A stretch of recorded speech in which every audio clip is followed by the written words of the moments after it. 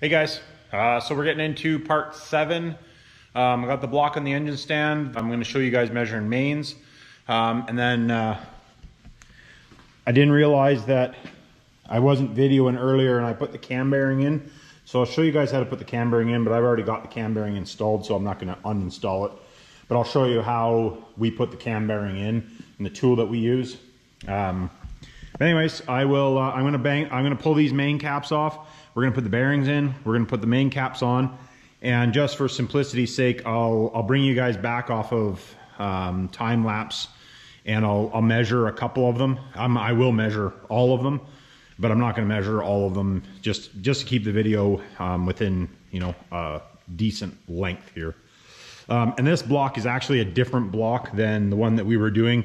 The specs are exactly the same and we have checked the mains already, but I didn't have time to wash the block today, so this is one that I already had ready to go, so we're gonna use this block to finish finish off. Like I said, it's the same block. I just didn't have time to clean and get it back in the jet wash, so uh, simplicity's sake, um, we'll use this block and uh, not have to wait a day. So, all right, I'm gonna put it on time lapse here, uh, pull the main caps off, I'm gonna put the bearings in, and then I'll bring you, I'll come back and we'll check a few main bearings, see what our oil clearance is gonna be, and then uh, we'll go from there. Okay so you can see uh, just pulling the uh, main cap bolts out. Just set them all out, make sure you got them on something clean. All right, so thought I better mention a couple things here um, before I start putting the bearings in. So here's the bearings. Um, these are just P-series bearings from um, Mahle, Mahle Clevite. So anyways, um, these are the oil squirters. Now these oil squirters, now I guess we'll talk about oil squirters here. Um, so you can buy aluminum oil squirters. There's more than one company makes them. Um, Attitude makes them. Um, these ones are easy for me to get here in Canada, so I use these a lot. Depending on what you got going on for an engine, these are the ones that are going to come in your kit. If you're running um, a Dodge truck application, you want to use the long ones. There is shorter ones. Um, they're like they're like about that length. Um, the, this is actually a plug for a Common Rail 5.9, but they're about that length and they're usually clear. Don't use those ones for this application, you want to use this style. Um, now, this engine isn't going to be anything special as far as a horsepower engine goes. It's going to be like 300, 350 horsepower at the wheels.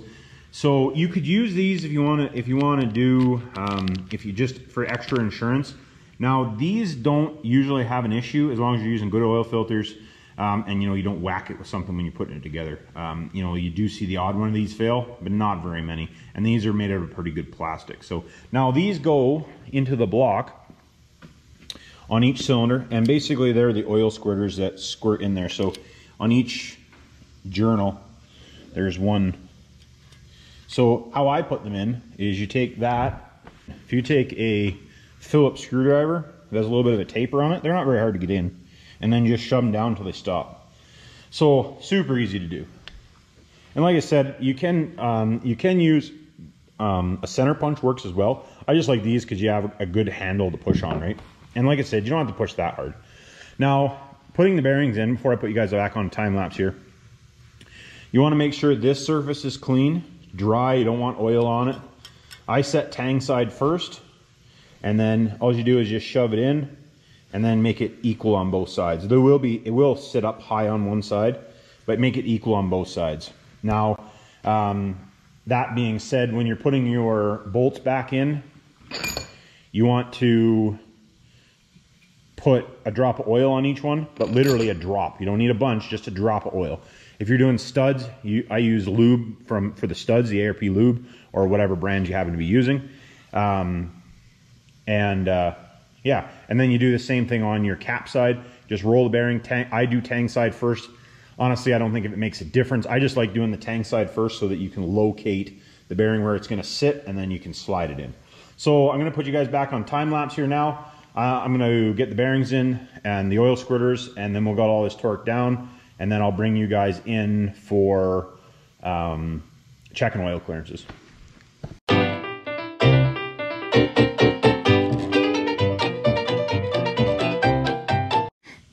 So something I wanted to show here is if you look at these, the main caps, the main caps on these are always going to be, they're always going to be marked Um, get one, yeah, so you can just see the three on there.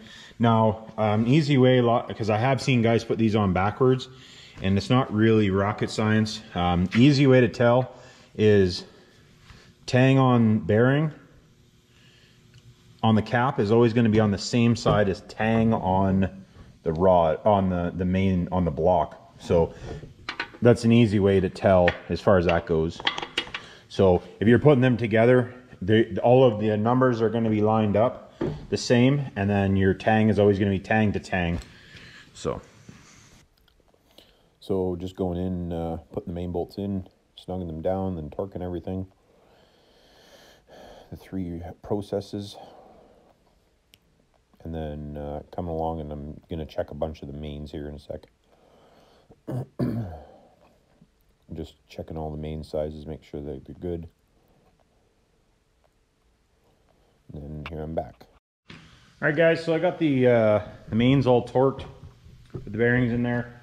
I've checked all of the, uh, I've checked them all the mains, but just, I'll show you guys um, how we're doing it here. And I got about between three and three and a half thou oil clearance, which is uh, sufficient for what we're doing.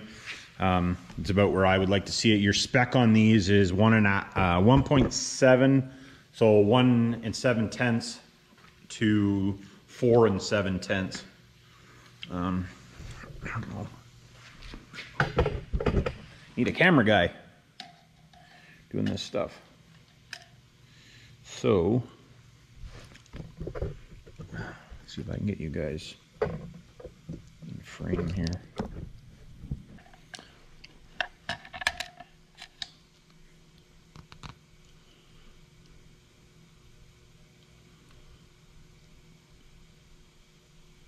So you can see that's where we're coming into, and that's three and a half. And then I usually, I measure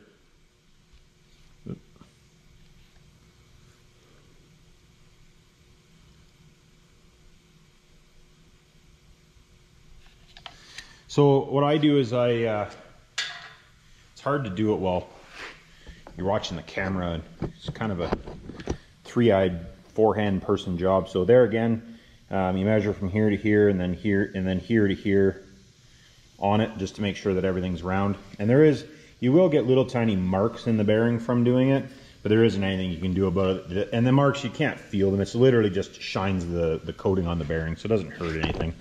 Um, I have uh, I've taken a few of my motors apart that, you know, have a lot of kilometers on them or high horsepower stuff that you tear apart just to make sure nothing's screwed up.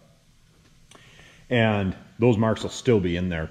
So that tells you something, you know, as far as, you know, there's no, you're not damaging anything. So now we've got that done. What we're going to do is I'm going to pull those caps back off. Um, I'm going to grab the crank. I'm just going to do, um, I'll probably do that off camera just because it's it's easier. I don't want to get the camera covered in brake cleaning crap. So um, I'm just gonna brake clean it and blow dry it off real good. Make sure there's nothing in it, which has we've already done and, and brushed the journals and stuff.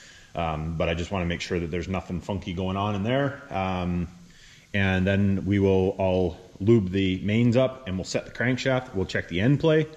Um, and then uh, we'll see how much more we're going to do tonight.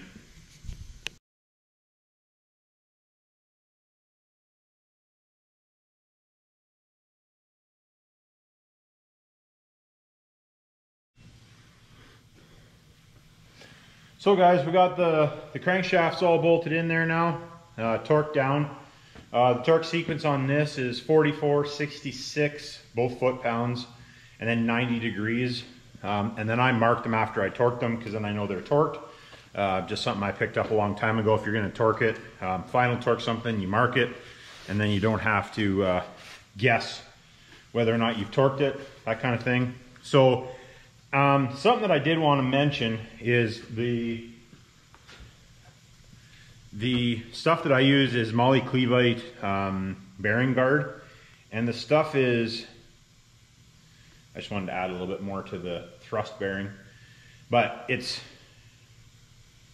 like really thick stuff. So, um, also something else that I was going to mention too. I was talking about plastic gauge And plastic gauge I use, I do use, um, but being that I had just measured the crankshaft, I had just uh, measured the mains, um, and we're in the middle to high end of spec.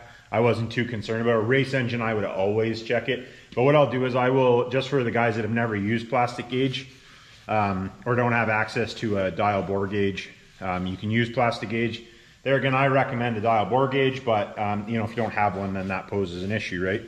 So I will plastic gauge some of the rod bearings for you guys, um, just so you can see the process of doing it, um, if you want to see that.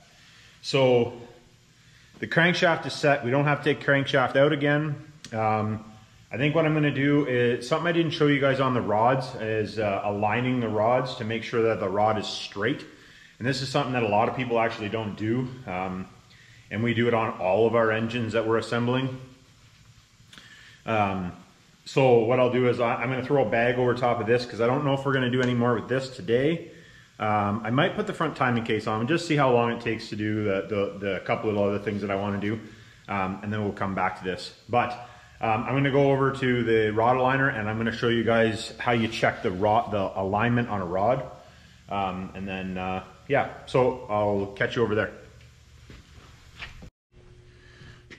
All right, John. We are over here to check a rod. So this is a Sunnen rod aligning checker.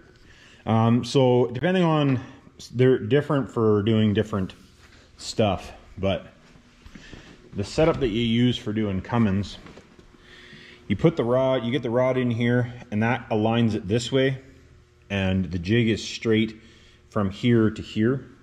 And then you put a wrist pin in it. And then this piece here, you slide up against and you guys will be able to see down there too well or not. But anyways, what you do is, is that you check, I'll put you guys on the stand here.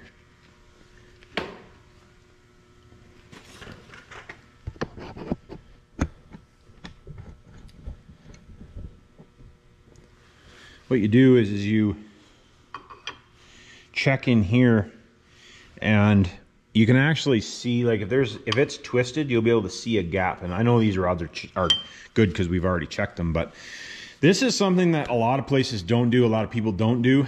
And basically the rod will sometimes not be straight.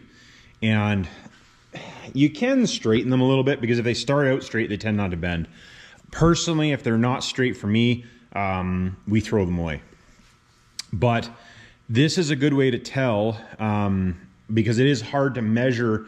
You can measure with piston protrusion and stuff because if you get a rod that's way different than the rest, there's something wrong with it. But if the rod is bent, it'll always be twisted. So this is an easy way. You put it in the jig and check it. This is an easy way to tell if the rod is bent.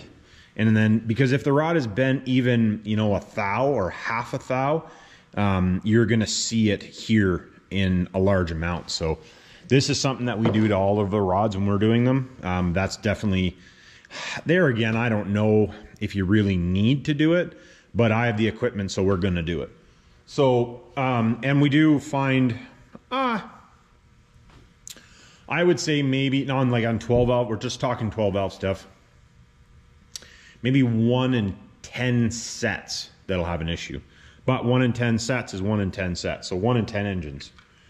So I just like to forewarn.